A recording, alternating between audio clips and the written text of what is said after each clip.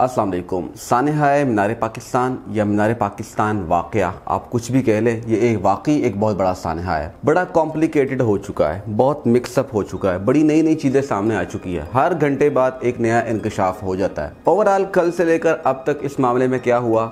या जिस दिन ये वाक़ हुआ और जिस दिन रिपोर्ट किया गया, उसके बाद क्या कुछ हुआ? बहुत सारी चीज़ें आप लोगों ने देख ली होंगी, लेकिन इस मामले के अंदर इकरारुल हसन और यासिर शामी, इनको बहुत टारगेट किया जा रहा है सोशल मीडिया पर। कहा जा रहा है कि ये इनकी तरफ़ से एक ड्रामा किया गया है और इस ड्रामे में ये लड़की ने बिल्कुल साथ दिया है। मतलब ये सारे करेक्टर है, इन्होंने सिर्फ़ रेटिंग के लिए, धूम मचाने के लिए सोशल मीडिया पर यह सारा ड्रामा किया हुआ है, ये सारा स्क्रिप्टेड है। वो कैसे आपके सामने तमाम तरह हकाइक रखते हैं? सबसे पहले लड़की की बात करते हैं। लड़की ने 13 अगस्त को एक वीडियो डाली टिकटॉक पर और उसने अपने फैंस, फॉलोअर्स को पैगाम दिया कि आप लोग जनाब मीनार पाकिस्तान पहुँचे, हम वहाँ पर आपके साथ मुलाकात करेंगे, आपके साथ वीडियोस बनाएँगे, आपके साथ सेल्फीज वगैरह बनाएँगे। जिस पर उस लड़की के जो फ़ैन, फॉलोअर्स थे 10 20 30 40 या 100 200 जितने भी थे, वो वहाँ पर पहुँच जाते हैं। लड़की ने उन लड़कों को सिर्फ़ और सिर्फ़ किस चीज़ की इजाज़त दी कि आप मेरे साथ वीडियोस बनाएँ, सेल्फीज़ बनाएँ और मेरे साथ मुलाकात करें। लेकिन वहाँ पर हालात जो है वो कंट्रोल से बाहर हो गए।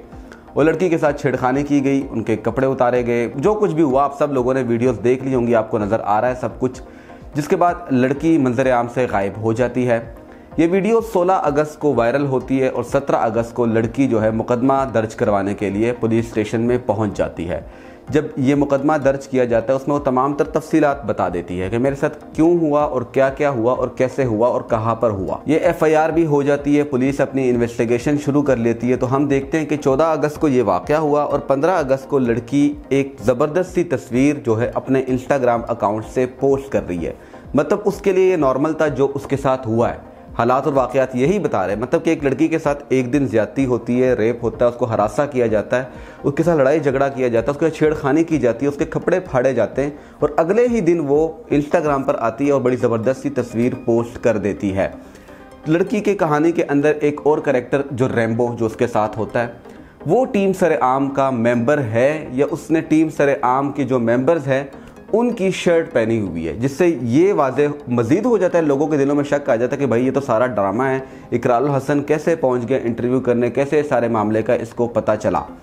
तीसरा, कुछ लोग एतराज़ ये कह रहे हैं कि ये पहले ही वाहयात किस्म का कंटेंट जो है टिकटॉक पर डाल रहे हैं। तो मुझे आप बता दें कि पाकिस्तान के अंदर जो टिकटॉक एप्लीकेशन बैन हो चुकी है, जिसको सबसे ज़्यादा इस्तेमाल किया जा रहा है, सबसे ज़्यादा व्यूज़ उसी प्लेटफॉर्म पर आते हैं। वहाँ पर कोई अच्छा और साफ़ सुथरा कंटेंट मुझे दिखा दे। 0.1 परसेंट अच्छा और साफ़ कंटेंट है। तो टिकटॉक पर लड़के हैं, या लड़कियाँ हैं। वो नंगे होने को भी तैयार है, वो कुछ भी करने को तैयार है। सिर्फ़ उन्होंने नाम बनाना है। क्योंकि शॉर्टकट ढूंढते हैं यूट्यूब के ज़रिए फेसबुक के ज़रिए नाम बनाने के लिए बहुत मेहनत करना पड़ती है।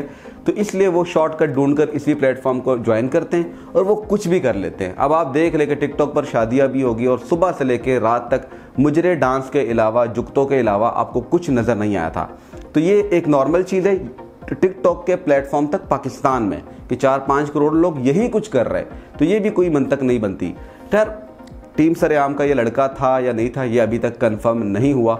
उसके बाद ये होता है कि इकराल हसन इंटरव्यू करते यासर शामी के साथ दिल्ली, पाकिस्तान पर। इकराल हसन उस इंटरव्यू में बताते हैं कि हम रात के इस पहल लड़की के पास पहुँचे। लड़की का जब घर देखा गेटअप देखा, लोगों ने समझा कि यार ये भी कोई अमीर घराने से ताल्लुक रखती होगी। फिर ये हुआ कि जब इस लोकेशन को जहाँ पर यासिर शामी ने इंटरव्यू किया, इकराल हसन साथ बैठे हुए, लड़की के सर पर हाथ रखा हुआ है तो लोकेशन को मैच करने की कोशिश की तो ये वो लोकेशन है, यहाँ पर पहले भी कई लोगों के यासिर शामी इंटरव्यूज़ कर चुका है। इवन के यासर शामी की जो सालगिरह है, वो भी यहाँ पर ही सेलिब्रेट की गई, जो सेम लोकेशन है। अब ये किसका घर है, किसी को नहीं मालूम। कुछ लोग कह रहे यासिर शामी का है, कुछ लोग कह रहे इकराल हसन का है, कुछ लोग कह रहे कोई तीसरा बंदा जो इनका म्यूचुअल फ्रेंड है, उसी की ये लोकेशन हो सकती है। इससे भी बढ़कर एक और खतरनाक चीज़ एफआईआर के अंदर लड़की ने जो एड्रेस दिया हुआ है, शाहदरा टाउन लाहौर का वो एड्रेस ही किसी और का निकला है। वहाँ पर कोई यूट्यूबर कोई सहाफ़ी वहाँ पर इंटरव्यू करने पहुँचे हैं। तो वहाँ पर जो घर में लोग मौजूद थे, उन्होंने बताया उस घर के जो बानी थे, एक शख्स थे और एक आंटी थी, उन्होंने बताया उस यूट्यूबर को या सहाफ़ी जो भी थे कि भाई, उसका तो हमसे कोई ताल्लुक नहीं है, हम उनको जानते ही नहीं हैं। और आप लोग हमारे घर पहुँच जाते हैं। सुबह से कितनी बार मरतबा पुलिस आ चुकी है और मीडिया वाले आ रहे हैं तो हमें बदनाम किया जा रहा है। तो लड़की ने एफआईआर के अंदर गलत एड्रेस लिखवाया है। ये भी एक हकीकत है। अब बात करते हैं इकरारुल हसन की, कि इकरारुल हसन साहब ने कहा कहा पर ब्लंडर मारे। पहला उन्होंने ब्लेंडर ये मारा कि जनाब, उन्होंने ट्वीट किया कि मैं लड़की के घर रात के इस पहर इंटरव्यू करने के लिए पहुँचा। जबकि हकीकत कुछ और थी कि लड़की उसके पास इंटरव्यू करने के लिए इंटरव्यू देने के लिए उसके पास पहुँची है। वो लड़की का घर नहीं था, बल्कि इकरार हसन या यासिर शामी या किसी और थर्ड पार्टी का घर था। तो इकरार ने सबसे पहला झूठ ये बोला जो बाद में पकड़ा गया था। दूसरा, इसमें इकरार ने ये बात की, ये कर दिया कि लड़की की जो तस्वीर है, वो ट्वीट कर दी और उसके बाद मामला सर उठाने लगा। और ये मेरी नज़र में इंतहाई गलत है कि आप एक लड़की के साथ जो कुछ हो चुका है इट्स हो चुका है। अब उसकी इन्वेस्टिगेशन हो रही है। लेकिन आप उस लड़की को मजीद पूरी दुनिया के सामने ला के क्या मार्केटिंग करना चाह रहे हैं? कौन सा ब्रांड दिखाना चाह रहे हैं? ये गलत है। इंटरव्यू करने के 200 तरीके और हो सकते थे। पीछे से कैमरा लाया जाता। कोई फर्जी कोई फेस ब्लर किया जाता, कोई फर्जी लड़की बिठा दी जाती, कुछ भी ऐसा हो सकता था। लेकिन इकरार हसन ने डायरेक्ट जाके इंटरव्यू ठोक दिया। ज़ाहिर सी बात है, एक बड़ा मामला था और इस इंटरव्यू पर रेटिंग तो आनी थी, चाहे कोई भी कर लेता, उसको रेटिंग ज़रूर मिलनी थी। लेकिन अगर सहाफ़ती आदाब को आप सामने रखते ना जर्नलिज्म के एथिक्स को सामने रखते तो मेरे ख्याल से इकरार हसन को थोड़ा हौसला करना चाहिए था। बहुत बड़े सीनियर एंकर हैं। तो उनको कम से कम ये तस्वीर इस तरह से रिलीज़ नहीं करनी चाहिए थी, जिसके बाद ये मामला सर उठाने लगा है। अब इस मामले में इकरार हसन का ही चैनल, जहाँ पर वो काम करते एयर वाई न्यूज़। उन्होंने एक खबर ये चलाई कि जनाब, लड़की ने जो है मज़ीद कार्रवाई करने से एस एच ओ साहिब को रोक दिया। ये चीज़ भी बड़ी एक मुशतबा हो गई कि यार ये क्या हो गया मामला? एक तो इकरार हसन इस मामले को उठा रहा है, फिर ये बात कर रहा है कि जनाब ये बहादुर लड़की है, सामने आई है और ये सब लड़कियों को जनाब एक सबक देना चाहती है कि हमने छुप नहीं रहना, हमने हमेशा अपनी आवाज़ बुलंद करनी है। दूसरी जानब, वही लड़की, उसी लड़की के बारे में इकरार हसन का ही चैनल खबर दे रहा है कि लड़की जो है मज़ीद कार्रवाई करने से पीछे हट रही है।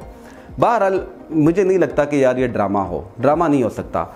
अब उस लड़की, कुछ लोग जस्टिफाई इस तरह कर रहे हैं इस केस को कि यार लड़की ने यह कहा कि मैं वहाँ पर गई और मैंने लोगों को बुलाया, जिसकी वीडियो मौजूद है। उस लड़की ने अपने फैंस फॉलोअर्स को अपने मुलाकात के लिए बुलाया और वीडियोज़ और सेल्फीज़ के लिए बुलाया। ना कि उसने उनको ये कहा कि आप आकर मेरे साथ बदतमीज़ी करें, छेड़खानी करें, मेरे कपड़े फाड़े। दूसरा, इसके अंदर बहुत सारे लोग जो है, इकराल हसन को गद्दार भी कह रहे हैं, कुछ लोग कह रहे हैं गिरफ्तारी का मुतालबा किया जाए। मेरे ख्याल से इसमें से कुछ भी पॉसिबल नहीं है, इन दोनों में से कुछ भी नहीं होने वाला। जब तक आप सोशल मीडिया के कवानीन नहीं बनाते, अगर आप सोशल मीडिया के कवानीन नहीं बनाएँगे तो आए दिन इस तरह के ब्लंडर्स होते रहेंगे। अब इस केस के अंदर जो अभी अपडेट आई है लेटेस्ट वो आपके सामने रखते हैं कि आईजी पंजाब ने इस मामले के ऊपर नोटिस लेते हुए 20 अफराद को अभी तक हिरासत में ले लिया है।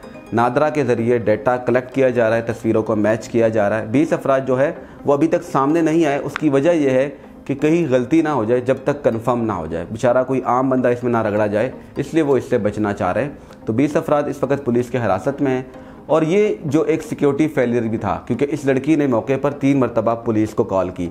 अगर ये ड्रामा होता तो ये लड़की तीन मरतबा पुलिस को कॉल ना करती, ये भी एक बहुत अहम तरीन पॉइंट है। अगर ये ड्रामा होता तो लड़की कभी भी तीन मरतबा वन फाइव पर कॉल ना करती और अढ़ाई घंटे तक पुलिस वहाँ नहीं पहुँची। तो ये सिक्योरिटी फेलियर है, पुलिस का फेलियर है। तो इसको मद्देनज़र रखते हुए आईजी साहब ने एसएचओ को DSP, SP, SSP operation DIG operation इन सबको मअतल कर दिया फ़िलहाल और इसकी इंक्वायरी हो रही है। जब इंक्वायरी में ये सब क्लियर होगा उसके बाद इनको शायद अहदों पर दोबारा बुला लिया जाए और मे भी कहीं और उनको ट्रांसफ़र कर दिया जाए। अलबत् मुझे ये केस कहीं से नहीं लगता कि ड्रामा है। मुझे फ़िलहाल नहीं लगता। आप लोगों की क्या राय है? आपको ड्रामा लगता है, किसने ड्रामा किया इकराल हसन ने ड्रामा किया लड़की ने किया या दोनों ही ड्रामा है। या फिर यह एक रियलिटी है। मेरी नज़र में ये एक रियलिटी है वाक़ हो चुका है इस लड़की के साथ। उसके दो तीन सबूत मैं आपको दे देता हूँ कि एक तो लड़की जो है, लोगों को बुला रही है मीट एंड ग्रीट के लिए, यानी मुलाकात के लिए सेल्फी वीडियोस के लिए। दूसरा, ये लड़की तीन मरतबा वन फाइव पर कॉल कर चुकी है। अगर वन फाइव पर कॉल ना की जाती अढ़ाई घंटे तक पुलिस ना पहुँची, ऐसा कुछ ना होता तो शायद ये फिर मुतनाज़ा वाक़ होता और हम कह सकते हैं कि शायद ये सारी ड्रामेबाजी थी। आप लोग कमेंट सेक्शन में अपनी राय का इजहार ज़रूर कर सकते हैं। अल्लाह हाफिज़। पाकिस्तान हमेशा जिंदाबाद।